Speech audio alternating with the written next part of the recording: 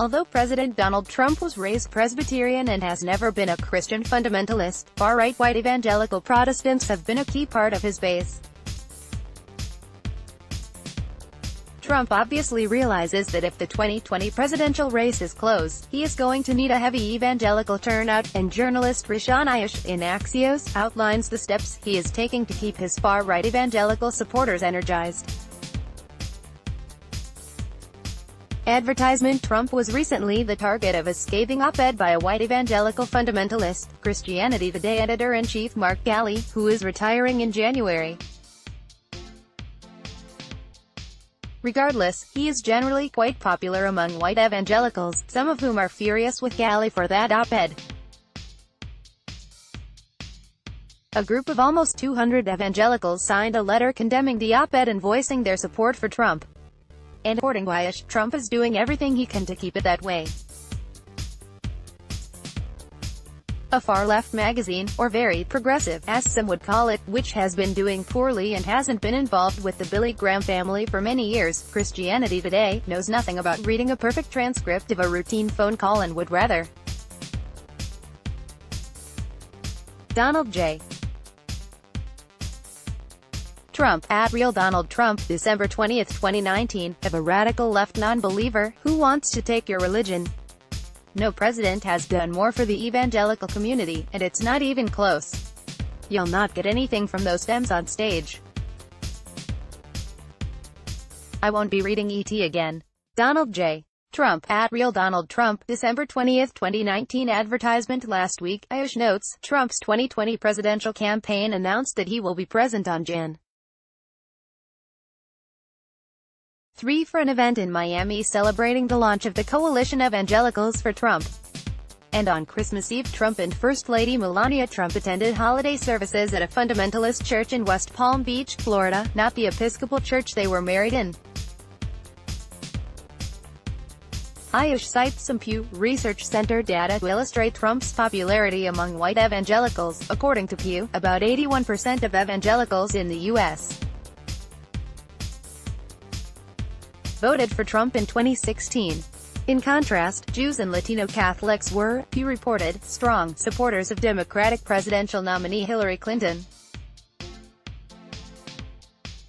It should also be noted that mainline Protestants such as Presbyterians, Episcopalians and Lutherans represent a non-fundamentalist form of Protestant Christianity, and that Trump had a non-evangelical upbringing, so his decision to court evangelicals in 2016 was, like many things Trump does, motivated by self-interest.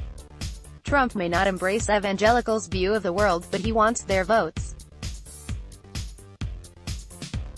Advertisement Enjoy this piece. Then let us make a small request. Like you, we here at Raw Story believe in the power of progressive journalism. Raw Story readers power David Cay Johnston's DC report which we've expanded to keep watch in Washington. We've exposed billionaire tax evasion and uncovered White House efforts to poison our water. We've revealed financial scams that prey on veterans, and legal efforts to harm workers exploited by abusive bosses. And unlike other news outlets, we've decided to make our original content free. But we need your support to do what we do. Raw Story is independent. You won't find mainstream media bias here. Unhinged from billionaires and corporate overlords, we fight to ensure no one is forgotten. We need your support to deepen our investigative reporting. Every reader contribution, whatever the amount, makes a tremendous difference. Invest with us in the future. The one-time contribution to Raw Story Investigates or click here to become a subscriber. Thank you. Click to donate by check. Enjoy this piece. Then let us make a small request. Like you, we here at Raw Story believe in the power of progressive journalism, and we're investing in investigative reporting as other publications give it the axe. Raw Story readers power David Cay Johnston's DC report which we've expanded to keep watch in Washington. We've exposed billionaire tax evasion and uncovered White House efforts to poison our water. We've revealed financial scams that prey on veterans, and efforts to harm workers exploited by abusive bosses. We need your support to do what we do. Raw Story is independent. You won't find mainstream media bias here.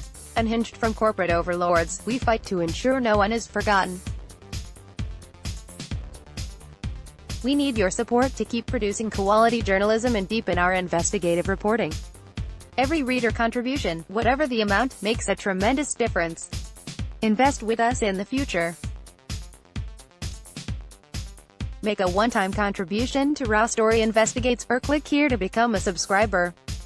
Thank you. Report typos and corrections to email protected. Let's block ads. Why?